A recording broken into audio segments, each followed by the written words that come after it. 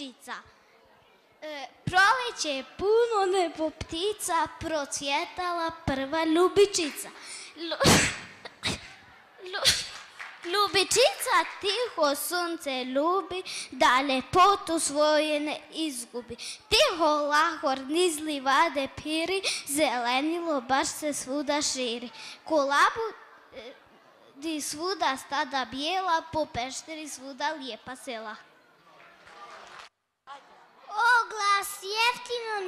Za sitne pare, kozu bijelu i njeno jar, jer ih dale čuvati ne mogu, trčeći za njima ostado bez nogu.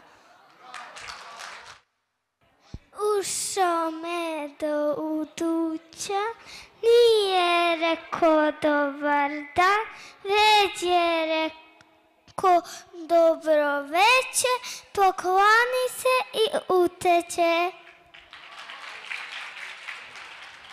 Mama, htjela bih da postanem srebro. Sine, bojim se hladno bi ti bilo.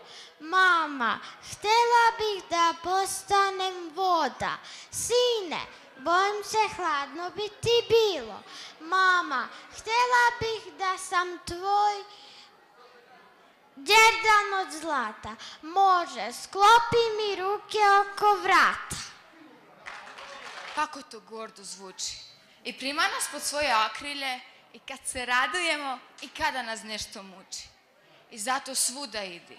I svud nek te sreća prati, ali ma gde god bio, vatanu se svome vrati.